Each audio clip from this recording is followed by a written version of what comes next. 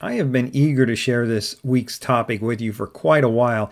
I've been preparing and kind of outlining for it, and then uh, I got an inquiry from uh, uh, somebody, and they asked me about this in particular, specifically even certifications that he was interested in getting. And so we got to ask the question: Is training worth it or not? Is a certification worth it or not? And specific ones. Let's, I mean, obviously you need training and you may need certifications in your job as an investigator, but let's look at specifically if any individual one is worth it or not, if it's right for you. Uh, I especially have a piece of advice at the end of this video that's, that's going to help you all the way through your career as you evaluate these things. Hi, this is Larry Kaye with shadowanyone.com and I'm the creator of the Investigator's Ultimate Guide series, which is premium private investigator training from someone who's been there and done that.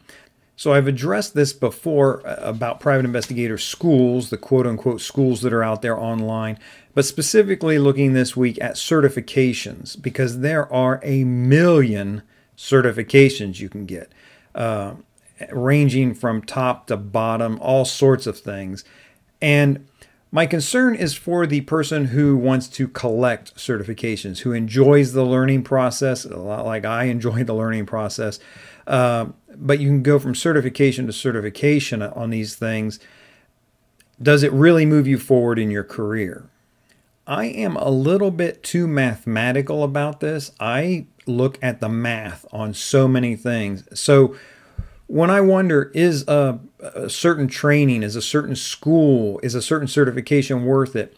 My own, my first question, maybe not my only question, is my my one of my questions is, is it worth it? Am I going to make more money having this certification than I would than I'm paying for it?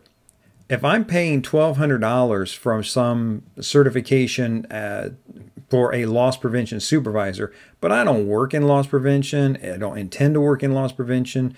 I'm not going to any employer that requires that certification. Then, yeah, it may be interesting to learn those things, but it's not worth it. I, I will never make that money back that I paid for that certification. Different private investigator associations offer different certifications as well. Uh, what do they say? What do they teach you? What do you learn? You know, if, if it's something you need to know, and if there's a specific, maybe a te- very technical thing that you need to know, maybe a technology thing, maybe about uh, computer forensics is a great example. You don't want to be just learning that on your own and fuddling through it. Uh, you want to really be taught that well. Even if you learn it on your own, the places you take that skill set may require the certification. Now, imagine even you own your own detective agency, you've figured this all out on your own, you're very, very good at it. You can clone a hard drive without changing any of the information on the primary drive. You can explain how you do that. If you show up in court and the, the, the opposing counsel is going to ask you about your training, your certification, if you just say, Well, I watched online videos or yeah, you may need that certification to lend credibility to your testimony. Likewise, if you own your own agency, having certifications can lend to your credibility. Now, I think from a sales perspective, that falls a little bit further down the, the line than other things. I, uh, people tend to buy from someone that they know, like, and trust. Then they look at your, they, they know you, like you, trust you. Then they begin to look at your credentials. They begin to see, okay, is this someone who really has been there, done that, who really can do the things that he says he wants to do. And that may be include things like you know previous employment and uh, previous uh, clients that you've worked for, recommendations you can get. So the certifications can play into credibility, but that's not the first place clients are really looking. The first question they really have is, can this investigator solve my problem? Now, if this was a quick and easy answer, we'd be done, but there is a very major exception you need to know about with these certifications, and that's if it's required in your area to have a certain amount of continuing education. So if you need three hours of continuing education every year for your private investigation license to remain valid, then you've got to get those certifications or got to get the training that's authorized by the state. And not just any training is going to do that. It has to be training that's been uh, authorized by the state licensing board to count towards your continuing education credits. I get this question quite a bit about my surveillance training, my process server training, I, I all the training I do. People want to know, okay, it's kind of pricey. It retails at 400. You can frequently get it up, especially now that it's uh, streaming. I've got it marked down to $247 because I want to kind of get used to that streaming process and, and how that looks, uh, at least in, before I bump it back up to 400 But, you know, $250 even is, you know, not a small amount of money. People ask me, will this count towards my continuing education? No, no, it will not. I do not desire to interact with the government any more than I have to. I am not jumping through the hoops to get my stuff certified. And more importantly, I don't want people to buy my training material because it's mandated by the government. The gov- if the government's forcing you to buy it, that's that's not a business model that I'm interested in. I want my training to succeed or fail based on its merits.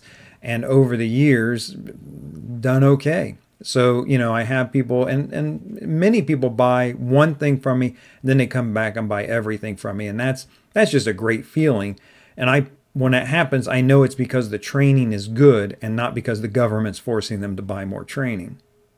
Finally, again, looking at the mathematics of things, uh, will you make more money than the certification cost you? That's a key element.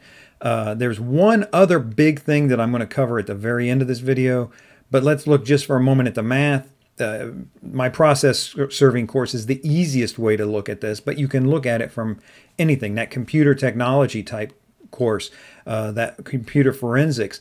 You know, if the certification costs you even three grand, but you end up going working for a major national bank making fifty, sixty thousand dollars a year, maybe even starting, then yeah, yeah, the three grand is worth it.